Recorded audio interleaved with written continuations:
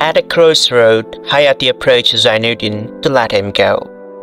Here, Hayati made a note to herself that Zainuddin would be her soulmate.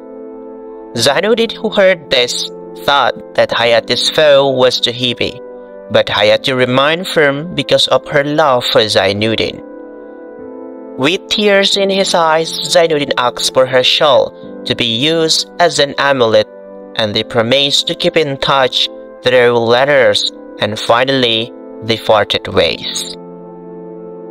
One day, it turned out that there was a young man of Minang blood and wealthy named Aziz intending to propose to Hayati.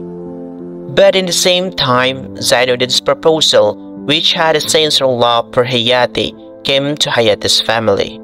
This led all of Hayati's relatives together and negotiate which proposal they would accept for Hayati. But even though Zainuddin's love was so sincere and Hayati also loved Zainuddin, in the eyes of Hayati's family, custom and wealth were still about everything. And finally, Aziz was accepted by Hayati's family. At the time, Hayati could only obey because she realized that she had only lived in Ma'datwak's place in the past. A few days after that, a letter came for Zainuddin, which contained a rejection of his proposal from Ma'datwak, which made Zainuddin's heart hurt. After that, Zainuddin also asked Bang Muluk about Aziz, who turned out to be a spoiled child, the son of a wealthy man who liked to spend his family's money by gambling, drinking, and playing with women. A few days later, the wedding happened.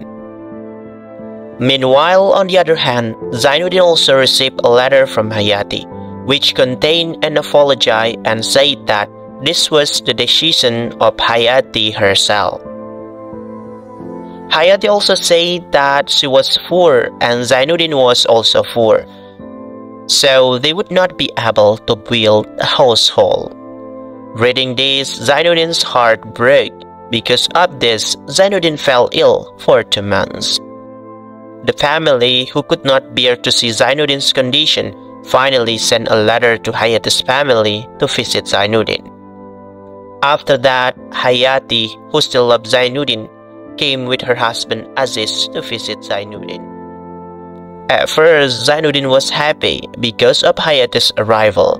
But after seeing the gold ring on Hayati's ring finger, Zainuddin realized that Hayati was now someone's wife.